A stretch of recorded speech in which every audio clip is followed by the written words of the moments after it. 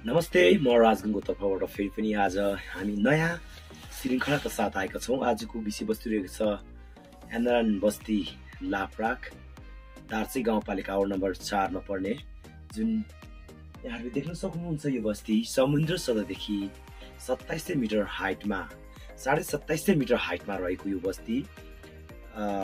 एनआरएनले पाँच सय त्रिहत्तरवटा बनाएको छ भने नेपाल सरकारले चाहिँ छब्बिसवटा बनाएको छ लगभग करिब छ सय घर।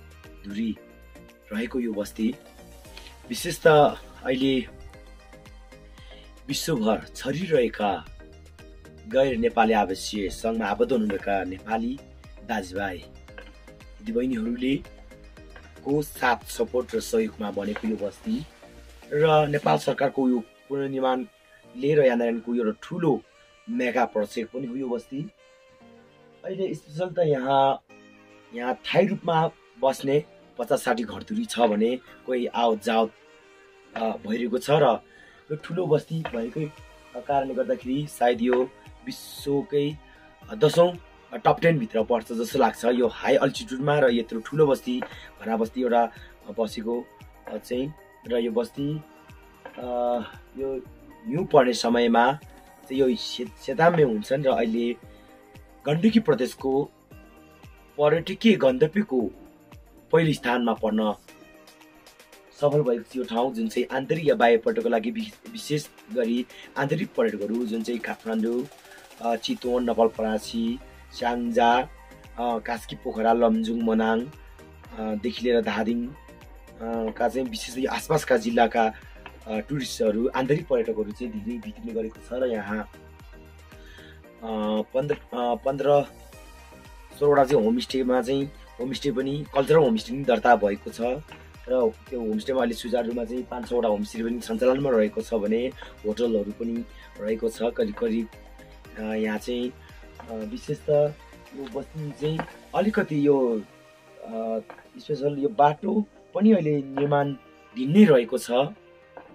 जुन चाहिँ मान्छेहरू scooter bike jeep Bolero Land Cruiser ल्याएर घुम्ने उस गर्नेछ र कतिपय अर्को फेरि मान्छेले चाहिँ के एउटा इन्फर्मेसन पुगेको छ भने यहाँ चाहिँ मान्छेहरू सबै चाहिँ अलिकति सुन्ने धेरै मान्छेहरू चाहिँ यो सबै चाहिँ नदेख्दाखेरि दिउँसो नदेख्दाखेरि चाहिँ मान्छे के भन्छ भने यो बस्ती त मान्छे बस्ती हुँदैन कि भन्ने पनि छ तर प्रायः यहाँको मान्छेहरू चाहिँ आफ्नो चाहिँ कामको कारणले गर्दा खेतबारी काम गर्दै हाम्रो खेतबारीको लागि चाहिँ टाढा जानुपर्ने र उस्तै पऱ्यो रात पऱ्यो भने तल बस्ती नै बस्नुपर्ने भएको हिसाबले चाहिँ त्यति मान्छेहरूको चलफल चाहिँ अलिक कमै देखिन्छ। त्यही कारणले गर्दा पनि कति पहिले यो बस्तीलाई यो एउटा चाहिँ फोटो सेल्फी खिच्ने ठाउँ मात्रै हो कि एउटा भूत बङ्गाल हो भने कि एउटा त्यस्तो चाहिँ प्रचारहरू पनि भएको छ। वास्तवमै भन्यो भने चाहिँ हाम्रो काम उसको लागि पनि चाहिँ एउटा खेती किसानको लागि पनि यो बस्ती अलिक टाढा भएको हुनाले गाम्बेसी जुन चाहिँ एउटा यो माथिल्लो गाउँ तर तल्लो गाउँ चाहिँ एक्काइस सय मिटर हाइटमा रहेको छ जुन त्यो कारणले गर्दाखेरि अलिकति मानवहरूको चाहिँ चलफल चाहिँ कम भइरहेको छ र यो बस्ती आफैमा पनि एउटा सुन्दर रहेको छ जुन चाहिँ दाजुभाइ दिदीबहिनीहरूलाई विशेषता धन्यवाद भन्न चाहन्छु।